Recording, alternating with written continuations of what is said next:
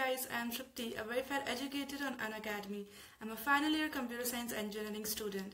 In this particular lesson, I'm going to talk about the protocols and the standards that are often utilized with respect to computer networks. So do watch this video, share it with your friends and like it and drop by your comments for your queries and your feedback.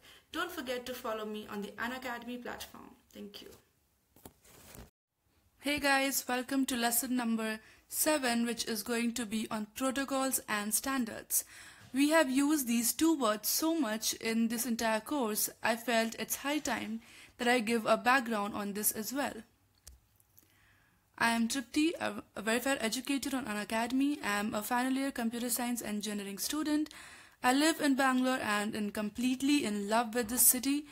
When I'm not coding, you can always find me sketching. So this is our agenda for today. We define two widely used terms, protocols and standards. First, we define the protocol which is synonymous with rule. Then we discuss standards which are agreed upon rules. Next, we will talk about the organizations that set these standards. And in the end, we'll know a little about the internet standards. So let's start the lesson.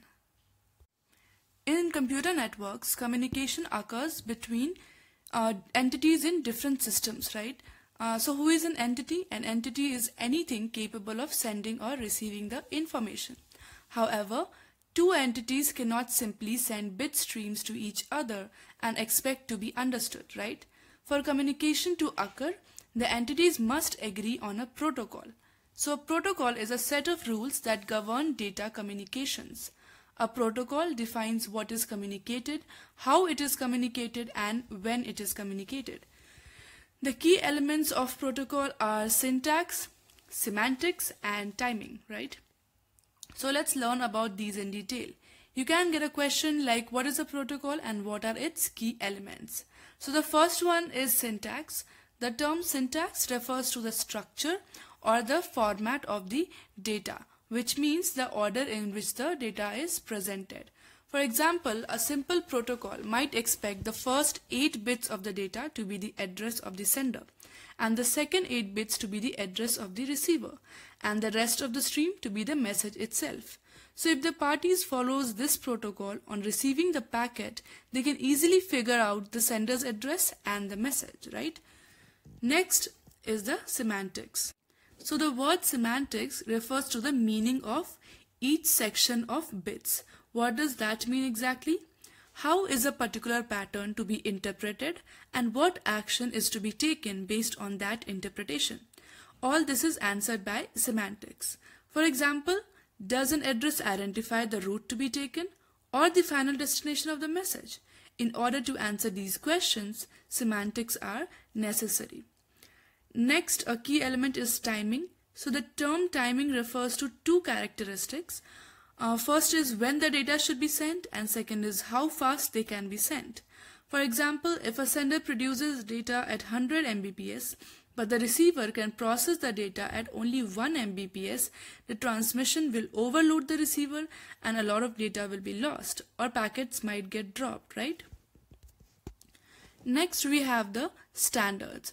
So standards are essential in creating and maintaining an open and competitive market for equipment manufacturers. Standards provide guidelines to manufacturers, vendors, government agencies and other service providers. So uh, this ensures the kind of interconnectivity that is necessary in today's marketplace and in international communications as well. So data communication standards fall into two categories. First is the de facto and second is the de jure. So de facto means by fact or by convention and de jure means by law or by regulation. So let's see what are these. In de facto, standards that have not been approved by an organized body but have been adopted as standards through widespread use are the de facto standards, right? De facto standards are often established originally by manufacturers who wish to define the functionality of a new product or technology. Whereas the de jure are the standards that have been legislated by an officially recognized body, right? So, for example, uh, de facto uh, would be your QWERTY keyboard layout, right? The standard pattern is to use the Latin-based alphabets.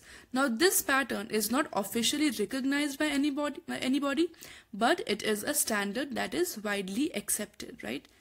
So standards are uh, developed through the cooperation of standard uh, standards creation committees, forums, and government regulatory agencies, right? So here on the screen, you can see a couple of organizations that uh, contribute to the development of the standards. So first is the ISO, which stands for International Organization for Standardization. The ISO is active in developing cooperation in the realms of scientific, technological, and economic activity.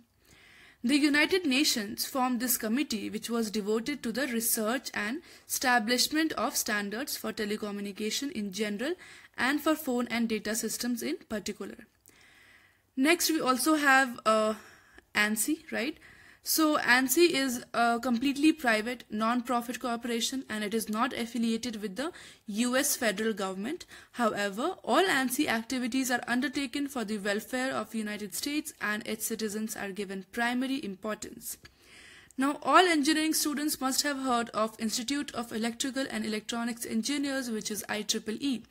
The Institute of Electri uh, Electrical and Electronics Engineers is the largest professional engineering society in the world. It aims to advance theory, creativity, and product quality in the fields of electrical engineering, electronics, and radio, as well as in all related branches of engineering. So these are the four main organizations, right? You have ISO, which uh, which works in the realms of scientific, technological, and economic activities. Then you have ITU-T, right, which was formed by United Nations and is devoted to the research and establishment of standards for telecommunication and phone in particular. You also have ANSI, which is a completely private and non-profit organization, but it gives importance to the welfare of United States and the citizens. We have IEEE, which is the largest professional engineering society in the world. We also have forums and regulatory agencies that uh, help in uh, forming the standards, right? So uh, what are forums? So telecommunications technology development is moving faster than the ability of the standards committees to ratify the standard, right? So to accommodate the need for working models and agreements and to facilitate the standardization process, Many special interest groups have developed forums made up of representatives from interested corporations. The forums work with universities and users to test, evaluate, and standardize new technologies. And then the forums present their conclusion to the standard bodies, right? So uh, forums can be considered as a medium, right? The middleman. We also have re uh, regulatory agencies. So all communications technology is subject to regulation by government agencies such as the Federal Communications Commission, which is FCC in the United States. The purpose of these agencies is to protect the public interest by regulating the radio, television, and wire and cable communications. The FCC has authority over interstate and international commerce as it relates to communications. Next, let, uh, let's uh, look at inter internet standards, right? So an internet standard is a thoroughly tested specification that is useful and followed by those who work with the internet, right? And inter uh, so this uh, there is a strict procedure by which a specification attains internet standard status, right? So how does that happen? A specification begins as an internet draft. So your internet draft is a working document by working document, I mean any work which is in progress with no official status and a six month lifetime. Upon a recommendation from the Internet authorities, a draft may be published as a request for comment, which is RFC. Each RFC is edited, assigned a number, and made available to all interested parties. RFCs go uh, through maturity levels and are categorized according to their requirement level. So that's how they finally get the status of internet standard. So I think this is all we need to know about protocols and standards from computer networks point of view. Thank you so much for watching this lesson. Do like it, share it with your friends and comment below for any queries or doubts. You can also follow me on unacademy.com slash user slash Tripti for more courses uh, related to computer science. Thank you.